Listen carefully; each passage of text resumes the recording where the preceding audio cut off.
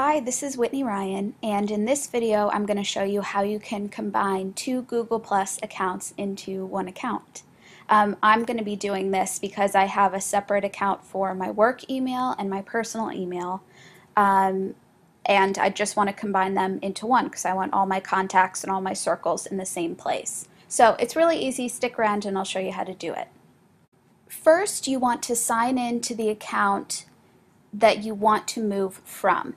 So for me, what I want to do is I want to take all my connections in my work account and move them to my personal account.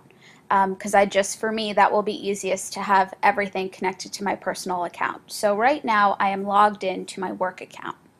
And when you're logged in to the account from which you want to move your contacts, you're going to go to google.com slash takeout.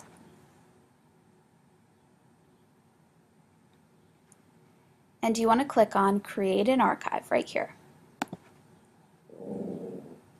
And now the place where you want to create your archive is Google Plus Circles. So you're going to select it and then click this little arrow right here and click Transfer your Google Plus connections to another account.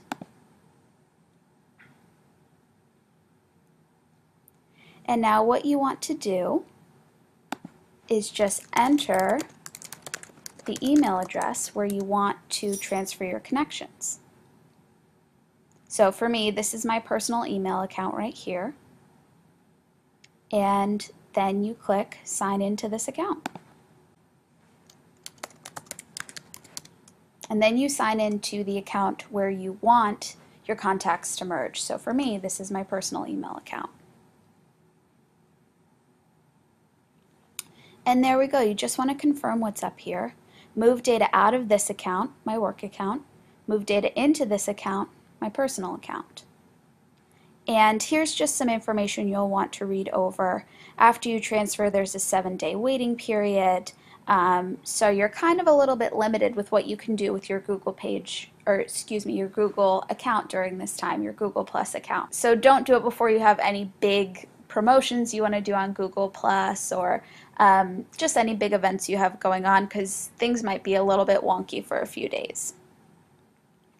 So I'm going to go ahead, I've read and understand, and I'm going to click transfer. And there you go. It's really very simple, but I've just have found that a lot of the tutorials haven't walked me through exactly what I needed. It took me a while to find this information. So hopefully it is helpful to you. Um, if it's something that you did find helpful, I would really appreciate it if you could like the video or if you could subscribe to the channel or if you could pass it on to somebody else that you've heard grumbling about this problem um, so we can give them a quick solution. Thanks so much for watching and I'll see you later.